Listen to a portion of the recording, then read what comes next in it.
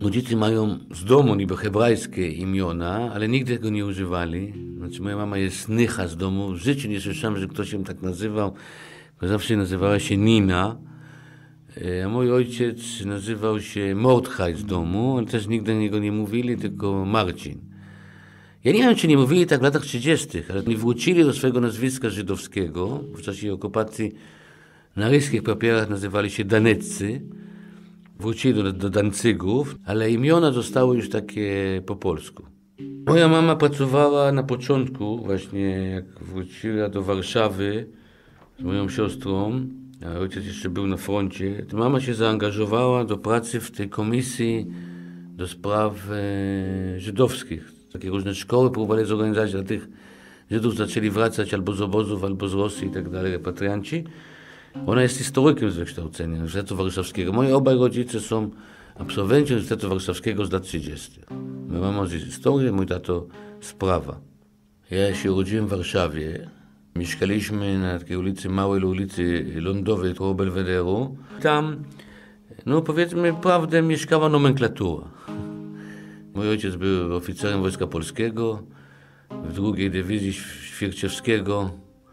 Ja bardzo dobrze pamiętam, bo to było takie ogromne podwórko, drzewa takie duże, różne i tam myśmy biegali, się bawili, także to dobrze pamiętam. I potem w Warszawie tak już mnie, pamiętam, trochę się chodziło, jeszcze gruzy były. Jeszcze w latach 50. Pamiętam, że zaczęli budować Pałac Kultury. Pamiętam dobrze łazienki na przykład, bo myśmy mieszkali bardzo blisko i tam się uczyłem jechać na rowerze i tam dużo razy chodzili na spacery. I oprócz tego to przeważnie to pamiętam to w czasy. Bo wtedy się jechało na zimę gdzieś tam na góry, na lato gdzieś na morze. To byliśmy kilka razy w Ustce, w Międzyzdrojach, w Sopocie, a potem na zimie w Wisełce, w Szczawnicy, w takich miejscach. To to pamiętam. Ja mam wspomnienia szczęśliwego dzieciństwa. Byłem młodym Polakiem, nie różniłem się od innych w niczym.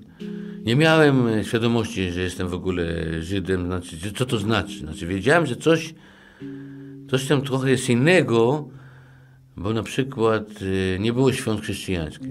Znaczy, ja nigdy nie odczułem w Polsce, bardzo dobrze zresztą, antysemityzmu. Na swojej skórze tego z mojego dzieciństwa nigdy nie przeżyłem.